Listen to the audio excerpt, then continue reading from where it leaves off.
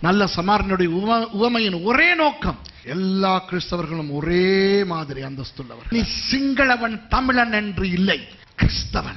சிங்களம் பேசும் கிறிஸ்தவன் தமிழ் பேசும் கிறிஸ்தவன். அவ்வளவுதான். கிறிஸ்தவனுக்குள்ள சிங்களவன் தமிழன் என்று இருக்கக்கூடாது.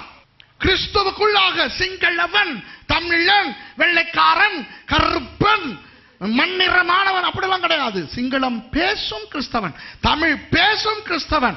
இங்கிலீஷ் பேசும் கிறிஸ்தவன். இயேசு கிறிஸ்துவின் ரத்தத்தினால் கழுவப்பட்ட ஒரே இனமாய் நாம் இருக்கிறோம். யாராவது இனி ஜாதி பாத்தீங்கன்னா யாராவது இனி பேதம் பார்த்தீங்கன்னா நிகழ்ச்சி பார்க்கிற தமிழங்களுக்கும் சொல்றேன்.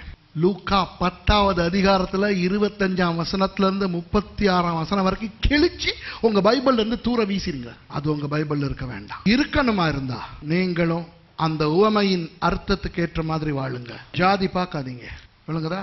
அது பிசாஸ் அசுத்தம் அருவருப்பு. இயேசு அதை உடைத்தார். ஜாதி பார்த்து கொண்டு நீங்க உங்களை பாஸ்டர்னு சொல்லிக்கிறாதீங்க. சீ தூ வெக்கம் ஜாதி பார்த்துக்கிட்டு இருந்தா நீ ஒரு கிறிஸ்தவன் கிடையாது. ஜாதி பார்க்கிற கிறிஸ்தவ பாஸ்டர் எல்லாம் பாஸ்டரே கிடையாது. தேவ ராஜ்யத்துல இருக்கணுமா இருந்தா ஜாதியோட இருக்க முடியாது. எல்லாரும் ஒன்று.